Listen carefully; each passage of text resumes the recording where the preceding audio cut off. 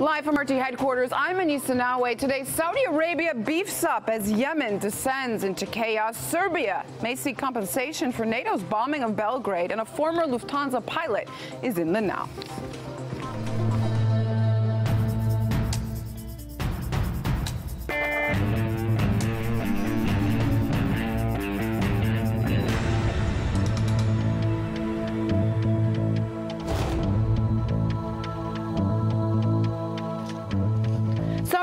Arabia is on red alert. U.S. officials say heavy military equipment and artillery are being moved to its almost 2,000 kilometer border with Yemen. The kingdom fears worsening chaos could spill onto its territory. Here's why.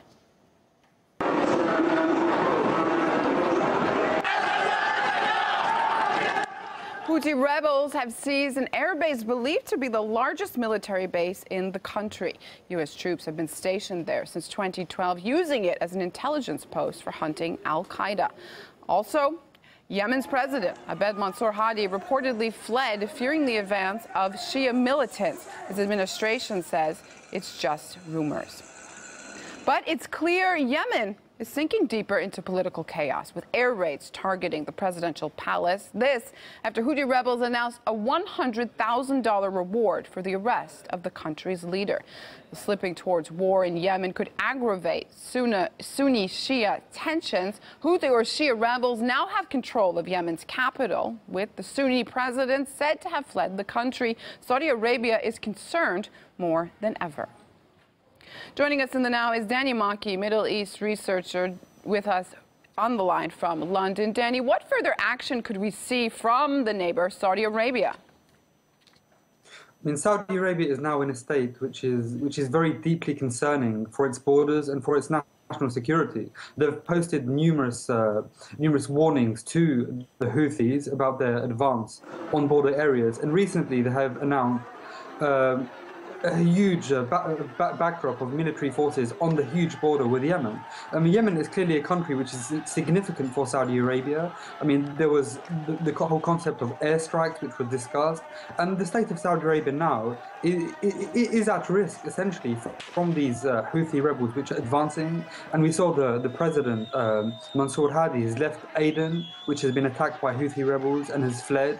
So this uh, Yemen is essentially now in a state of utter chaos, and Saudi Arabia, as a neighbor with a huge border, is very and deeply concerned as to what is occurring across the border. There is not much Saudi Arabia can do, however, as it, lacks a power base within Yemen, and its main ally, we could argue, against the Houthi rebels is Al Qaeda in the Arabian Peninsula, which is quite amazing. Uh, in essence, uh, Saudi Arabia has moved this heavy equipment to the border areas, and it has raised this, this risk of the Yemen spiraling into further disrepute and more instability for an already unstable region.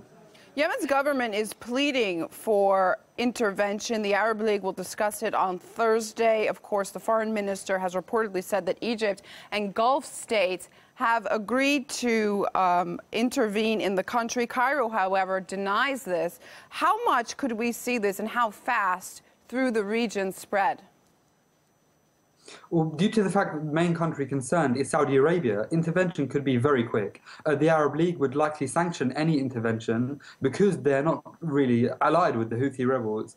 Uh, Yemen is now in a state of utter disrepute, so the UN would possibly call, call a meeting, and in the end, Saudi Arabia would get what it wants. But the level of intervention, it, it, it remains hard to, to actually see how this would work out. I mean, there was plans for an observer mission, perhaps or, or, a local ceasefire with the Houthi rebels. But due to the fact that Saudi Arabia borders Yemen, and Yemen is now posing a security threat to Saudi Arabia, the United States is more likely to advocate any sort of inter intervention in Yemen, also with the fact that it is fighting Al Qaeda militants within Yemen.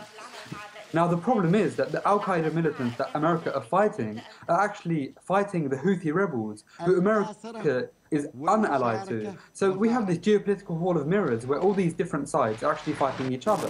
I mean, we had in late February, uh, the Shiite uh, leader uh, Abdul Malik Houthi accused Saudi Arabia of attempting to divide Yemen along sectarian lines, while Saudi Arabia perceives that the Houthis are an existential threat to Saudi security on the border.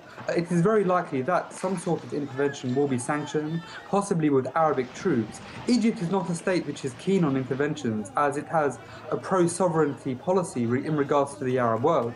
But other actors, such as the United Arab Emirates, the United States, and the European Union, would all favour and advocate a sort of intervention in Yemen to stop this spiraling, uh, this spiraling conflict, which will pose a new geopolitical war, even possibly bigger and more important to Saudi Arabia than Syria's war or the war in Iraq. Obama has used Yemen as a success story for the U.S.'s war on terror. This strategy of taking out terrorists who threaten us while supporting partners on the front lines is one that we have successfully pursued in Yemen and Somalia for years. Now, Danny, you've mentioned you think the U.S. would back intervention. Does this mean we're seeing a change in their strategy? We have seen Obama take a more isolationist approach to affairs within the Middle East. However, with regards to the Yemen crisis, the sensitivity of the issue and its proximity with Saudi Arabia all indicates that Obama is likely to be in favor of intervention. And the fact that the US has bases within Yemen to attack Al Qaeda militants makes it more likely that Obama would sanction intervention. However, Obama, what he has been contradictory about is we have seen more US airstrikes in Yemen, and drone strikes have affected uh, the way the Yemenis perceive the US on the ground. This is part and parcel of why the Houthis took power in Yemen in the first place. This is an element uh, of anti-US fervor, which was actually manufactured by the US and perpetuated by Obama's foreign policy towards Yemen. The fact that the US has pursued such a, such a policy has made the Houthi rebels more, more liked and more favored within Yemen. So any intervention Obama takes in Yemen would actually be contradictory to his initial foreign policy within Yemen. However, the most likely um, result of all of this is further intervention in Yemen, more strikes on Al Qaeda, which is central to Obama's foreign policy, and we will see more of a more of, more coordination between the Gulf Cooperation uh, Council and the United States States in regards to Yemen, especially in regards to the fact that Al Qaeda and ISIS now in Yemen are very, very significant and emerging highly within the Sunni population. Danny Makki, Eastern researcher with us in the now from London. Thanks so much.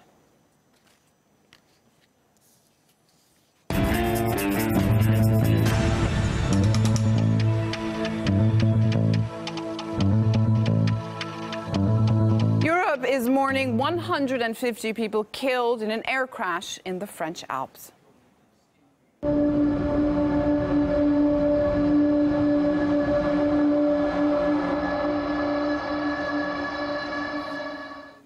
Specialists have managed to recover data from the black box of the crashed Airbus and add it will be useful.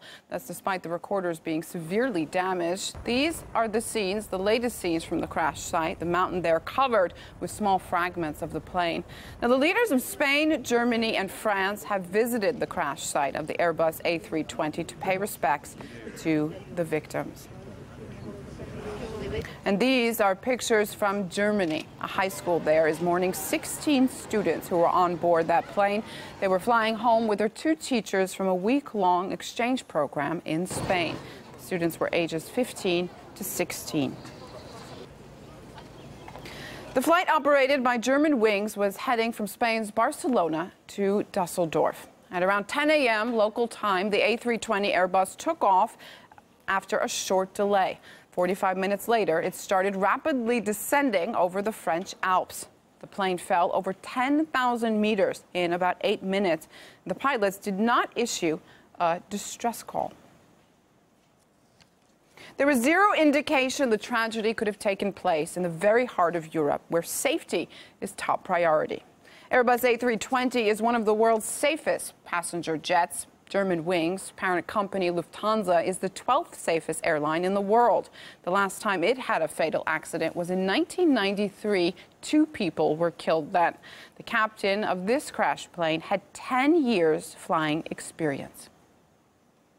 Joining me in the now from Munich is former Lufthansa pilot Peter Haisenko. Thank you for being with us. What do you know about safety procedures at Lufthansa and Germanwings, and how thorough were the aircraft checks before takeoff?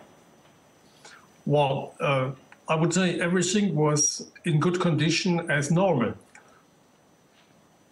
Germanwings, of course, is a low coster. Does that make any difference in terms of safety procedures? Uh, definitely not. Uh, everything in the Lufthansa company is uh, well, they have the best uh, safety procedures possible, and it's the same training like Lufthansa pilots. So there is concerning safety no difference between Lufthansa and uh, the Lufthansa-owned companies. So what does it mean when we see a crash like this happen uh, in a part of the world where the record is stunning, really? Well, uh, I would say there must have happened something absolutely unusual to this aircraft, uh, something that nobody could have foreseen uh, before. The plane was descending for eight minutes. Uh, do you think that the pilots could have contacted air traffic controllers and sent some kind of signal? Well, I don't know how the actual technical condition of the aircraft was but uh, I don't uh, see any reason why they shouldn't have been able to contact uh, somebody. But uh, these uh, pilots uh, were definitely in high in a high level of distress, and they had other priorities than talking to anybody. The first priority is to save the aircraft, and well, they didn't succeed on that. Have you ever piloted an A320? no, but an A340. For the last couple of years, Lufthansa has been facing numerous strikes and walkouts by pilots, other personnel, dozens of flights being canceled. This couldn't have played a role, could it? Definitely not. This does not concern safety. This is uh, an internal uh, hassle about uh, payment and uh, other conditions. It doesn't have anything to do with flight safety. What kind of uh, scenarios are we going to see officials looking into, and what will they rule out right away? Well, the last uh, messages concerning uh, this accident are quite uh, encouraging because now the official statement is that they do not exclude any possible cause. That certainly widens the ground. What should the company brace for after one of these planes crashed right in the middle of Europe? What kind of backlash are we going to see?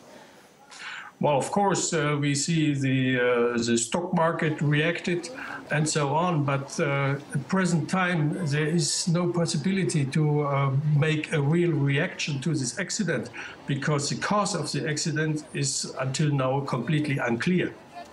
Peter Haisenko, former Lufthansa pilot, with us in the now from Munich. Thanks so much. Thank you.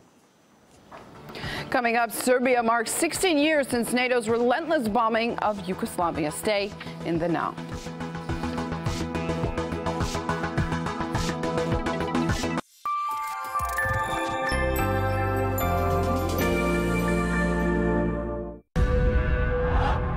Talking the language of war, but I will only react to situations.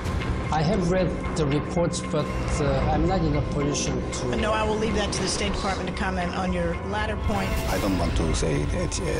Mr. Kerry, do you have any comments on the document? Uh, no. No comment? Thank you. No more weasel words. When you evade a direct question, be prepared for a chase. When you throw a punch, be ready for a battle. Freedom of speech means little without the freedom to question. Do we speak your language?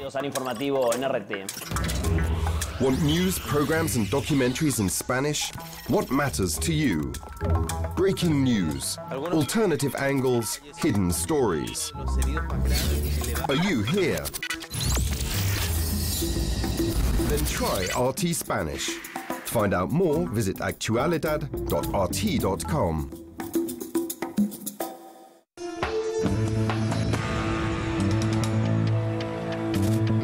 Canadian students hit the streets to protest government budget cuts. Riot squads answered quick, tear gas and police batons.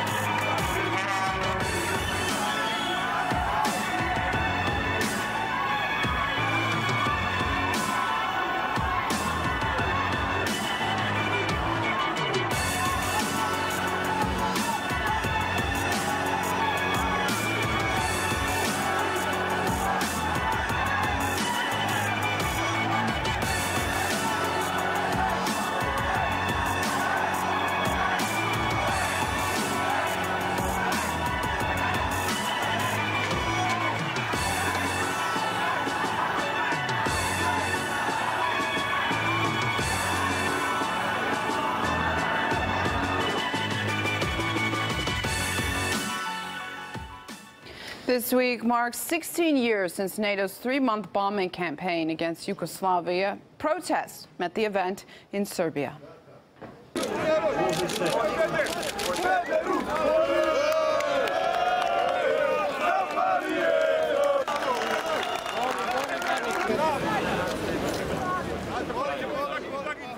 NATO should be held accountable for the massive damage left behind, and some Serbs want the alliance to pay up.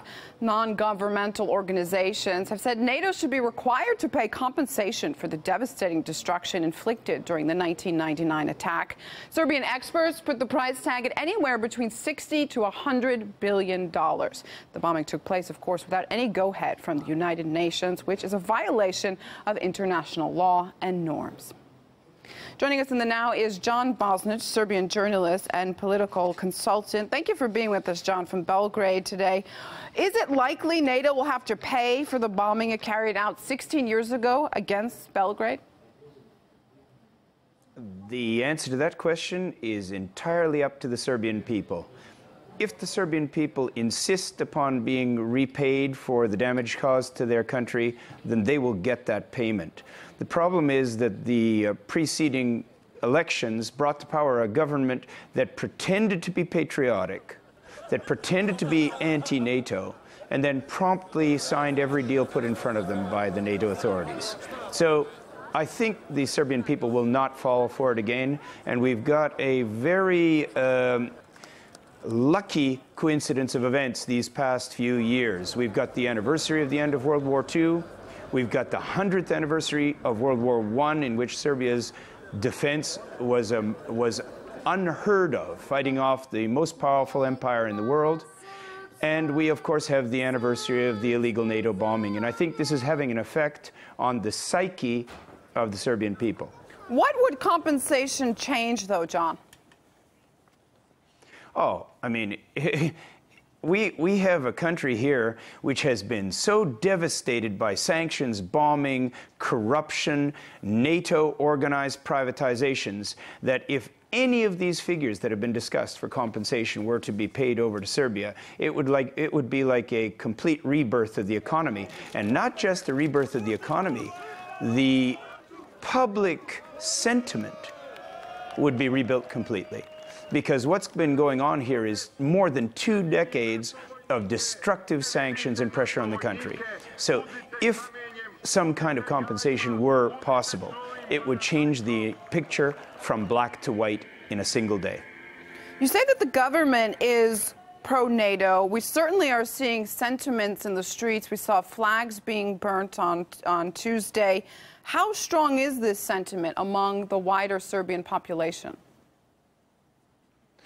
There has never been a majority of the population of Serbia in favor of NATO at any time.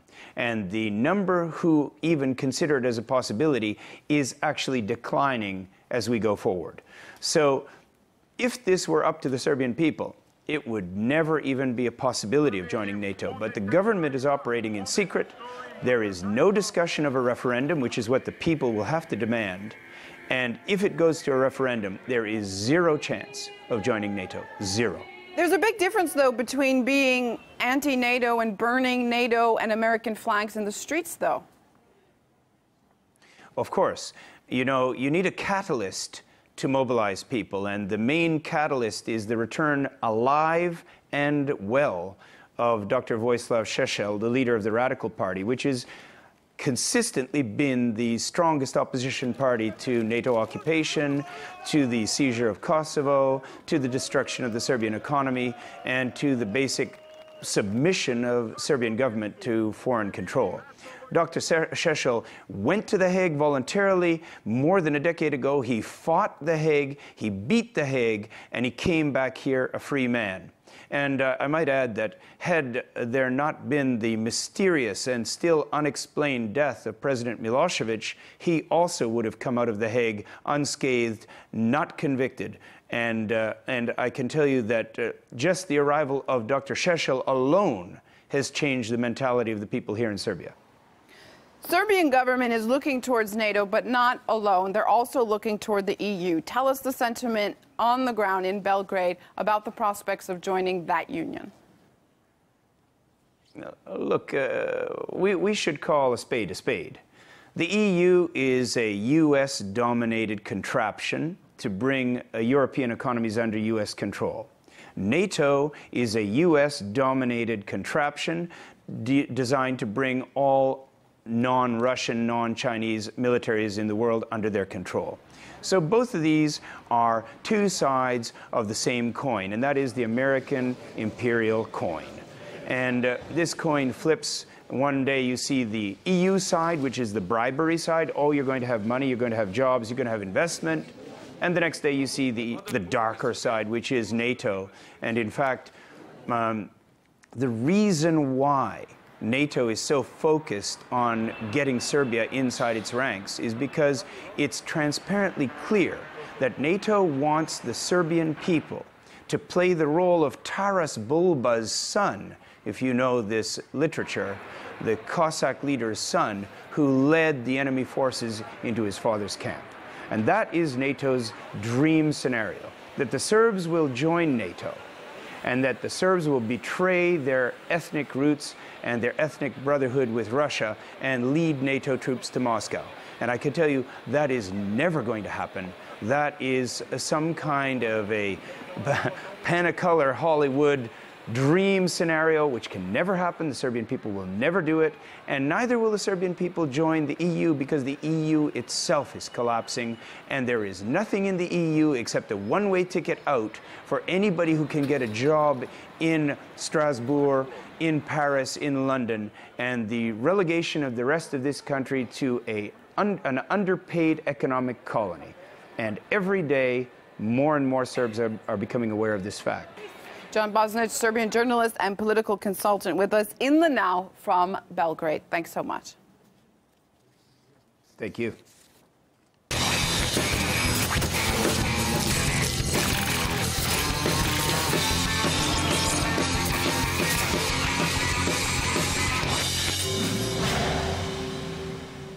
Monsanto's weed killer is causing cancer, according to the World Health Organization.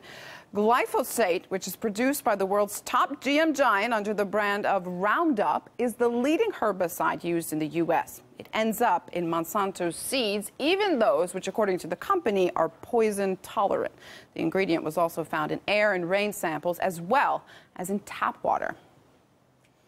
Well, the company denies the allegations and seeks immediate retraction while boosting the invasion of GM products in supermarkets across the globe.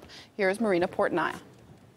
America is getting a new line of biotech fruits and vegetables containing the qualities most humans want indefinite youth and perfect aesthetics. Now, the regular apples we're accustomed to eventually turn brown after being sliced open or when rotting, but the Arctic apples approved by the FDA have been genetically engineered to stay crisp and resist any kind of discoloration. So the fruit of temptation will look flawless for hours or even days after after being sliced open. Meanwhile, the GMO innate potatoes approved by the U.S. government will be altered to resist bruising. When fried, they will reportedly produce less of a potential carcinogen. Now, advocates say keeping the produce flawless will cut food waste and make the apples and potatoes more appealing. But amid growing backlash and public concern surrounding GMO foods, some experts believe consumers may abandon apples and potatoes altogether. It will create